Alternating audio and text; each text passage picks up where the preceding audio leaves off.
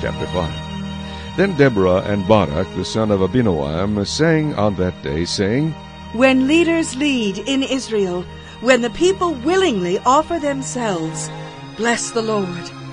Hear, O kings, give ear, O princes. I, even I, will sing to the Lord. I will sing praise to the Lord God of Israel. Lord, when you went out from Seir, when you marched from the field of Edom, the earth trembled and the heavens poured. The clouds also poured water. The mountains gushed before the Lord.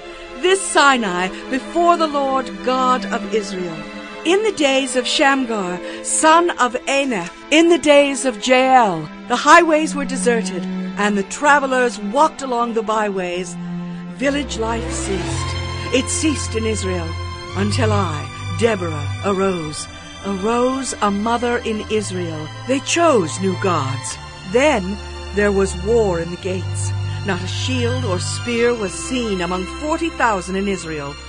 My heart is with the rulers of Israel who offered themselves willingly with the people.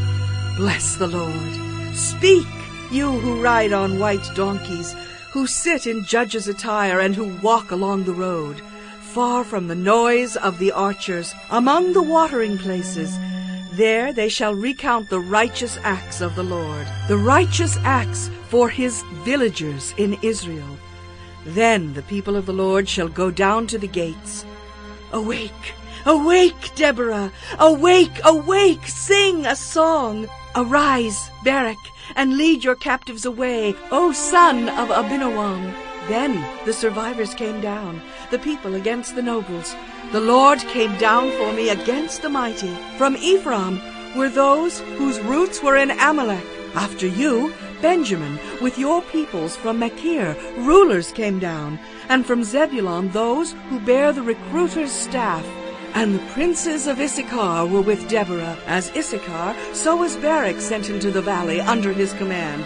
Among the divisions of Reuben there were great resolves of heart.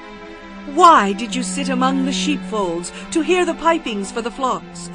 The divisions of Reuben have great searchings of heart. Gilead stayed beyond the Jordan. And why did Dan remain on ships?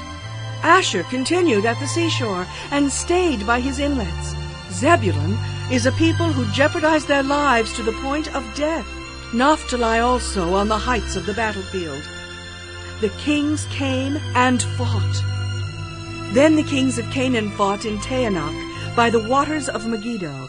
They took no spoils of silver. They fought from the heavens. The stars from their courses fought against Sisera. The torrent of Kishon swept them away. That ancient torrent, the torrent of Kishon. O my soul, march on in strength. Then the horse's hooves pounded, the galloping, galloping of his steeds. Curse Meroz, said the angel of the Lord. Curse its inhabitants bitterly, because they did not come to the help of the Lord, to the help of the Lord against the mighty. Most blessed among women is Jael, the wife of Heber the Kenite. Blessed is she among women in tents. He asked for water, she gave milk. She brought out cream in a lordly bowl. She stretched her hand to the tent peg, her right hand to the workman's hammer. She pounded Sisera. She pierced his head. She split and struck through his temple. At her feet he sank. He fell. He lay still. At her feet he sank. He fell. Where he sank, there he fell dead. The mother of Sisera looked through the window and cried out through the lattice. Why is his chariot so long in coming?